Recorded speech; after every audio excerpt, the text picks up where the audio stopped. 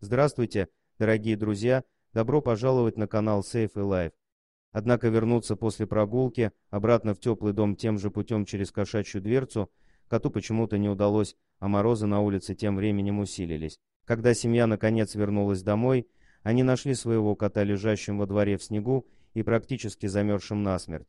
Тело кота покрывали комья снега и льда, и он едва подавал признаки жизни Good News Animal.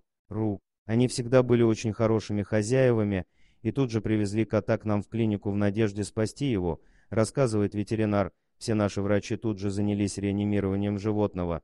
Был настоящий аврал. Мы растопили снег и лед теплой водой, а потом стали сушить его из теплых фенов и окутав теплыми полотенцами. Сердце кота билось, когда его привезли в больницу, но тело было очень холодным и почти закоченевшим. Прошло около часа, когда состояние кота наконец стабилизировалось и он начал двигаться. Так и осталось неясным, что произошло с котом на улице, отчего он не вернулся в дом через тот же ход, каким выбрался наружу. По одной из версий его сильно напугало другое животное, скорее всего собака, которая на него напала. На теле кота были найдены следы, похожие на следы собачьих зубов. К счастью, эти раны оказались несерьезными. Он находился в руках врачей и медсестер несколько часов, а потом провел ночь под регулярным наблюдением. На следующее утро ему уже было намного лучше, он мог двигаться и ходить.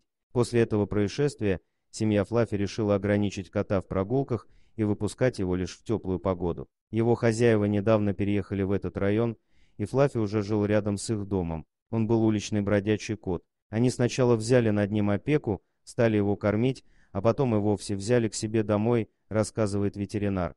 Спасибо за просмотр, подписывайтесь на канал, где вы найдете еще много интересного, а также ставьте лайки и пишите комментарии, что думаете по поводу этой истории.